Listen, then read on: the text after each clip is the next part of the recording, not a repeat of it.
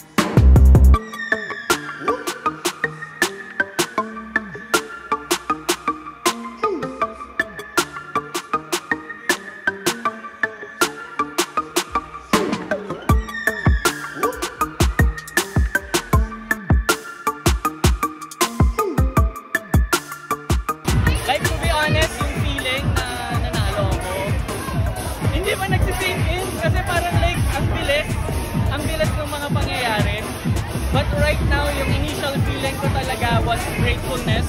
Sobrang thankful ako sa Red Bull and sa mga top 60 na kasama. Kasi they're all strong and that really pushes me to really give it my all.